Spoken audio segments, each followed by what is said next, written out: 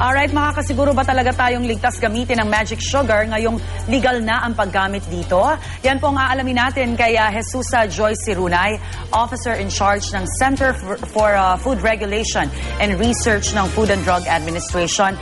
Magandang umaga po sa inyo, Ma'am Jesusa. Ma'am magand- Joyce. Yes. Ah, magandang umaga sa iyo, Rhea. At Yes. magandang umaga sa ating mga listeners. Alright, ano and, pong mga uh, viewers. Ano pong mga tinitingnan nating batayan para i-lift nga itong ban sa magic sugar? Ah, ang ating primary na pinagbatayan dyan ay yung codex release. Ah, meron kasi silang listahan na pwede nang gamitin as a food additive. Now, kasama na dito ngayon ang mga cyclamates. Ah, ito'y napaloob sa kanilang um, permitted additives uh, for use uh, in certain conditions Yes. and under certain amounts.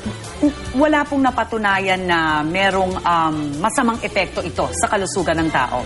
Uh, base sa mga reviews na ginawa ng World Health Organization at saka ng Food Agriculture Organization through their uh, Joint Expert Committee on Food Additives, ay nakita na at the amounts that they have stated in their uh, general standards for uh, food additives ay wala. Uh, no uh, safety concerns Yes. in the millions that were already using uh, the sodium cyclamine. Ma'am Joyce, pakita natin sa kanila yung itsura ng regular sugar at yung magic sugar. Ano ho?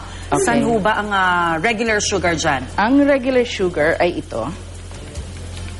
Okay. Yan. Tapos ito yung magic sugar. Maputing maputi ang magic sugar. Yes. At mukha siyang ano, Powdery.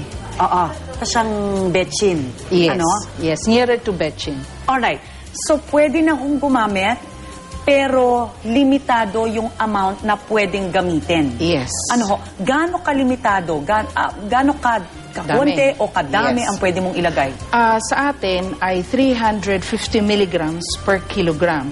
So kung i-convert natin yan doon sa mga inumin, sa Mga sa malamig, usually dyan yes. ginagamit Then yan. 1 liter ang kaik- kapantay ng isang 1 kilogram of food. So 350 milligrams of sodium cyclamate in 1 liter of water. Yes. Ang problema ho, ma'am, bukas kasi sa abuso dahil actually wala pang nagbebenta ho ng magic sugar sa atin. Pero ito, Legally. may nakuha ang Yes. unang hirit. At yung iba nating mga kababayan, parang ang bilis nilang makakuha ng magic sugar. Yes. So paano ho natin kaya mamamonitor para din sa safety din at hindi sumobra yung paggamit nitong ah, magic sugar? Tama.